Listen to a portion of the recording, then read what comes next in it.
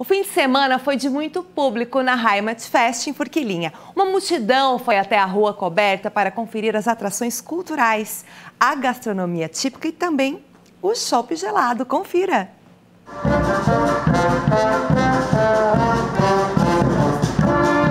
A Heimat Fest ainda não acabou, mas já é um sucesso. Até esse fim de semana, mais de 50 mil pessoas passaram pela rua coberta de Forquilinha.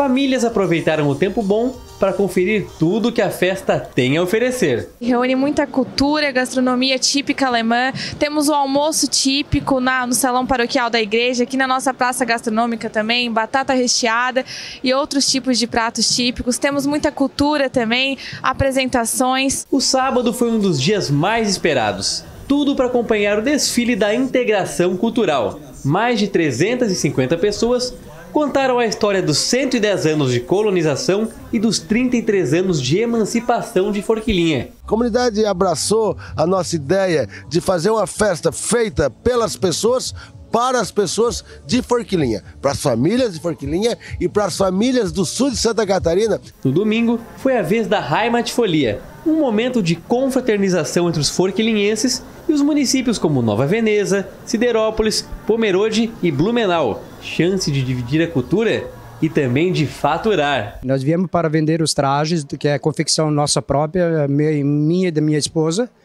e estamos vendendo copos de chopp, estamos vendendo bijuterias de forquilhinhas, copo personalizado de forquilhinhas. As músicas legais, o pessoal dançou pra caramba, já tomou aquele chopp gostoso e a festa tá maravilhosa. A programação da Heimat Fest continua até a terça-feira.